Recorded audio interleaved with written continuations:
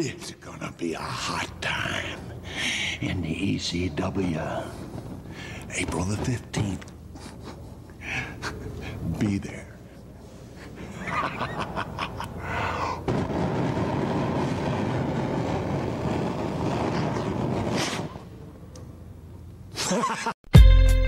What's good? Yeah, who had? Blaq Poet Kid, mad scientist, alchemist. It's a year-round thing, you heard? Uh, hit these niggas off.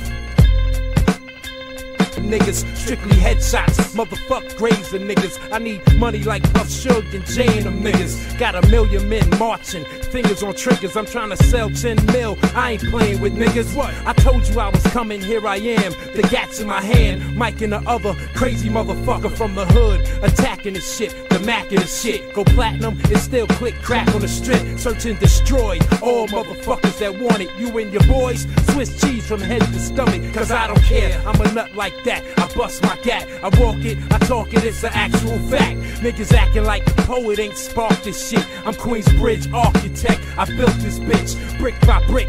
Bare hands in the trenches, walk around. You see my name on all the benches. Ask all the niggas and bitches who bear witness, who made the most crack money. Just ask the snitches. Yes, yes, y'all, I be the best, y'all. Your double vest can't even protect y'all. It's Blaq Poet Queensbridge, bloody mess, y'all. The niggas suck. I came to bless y'all.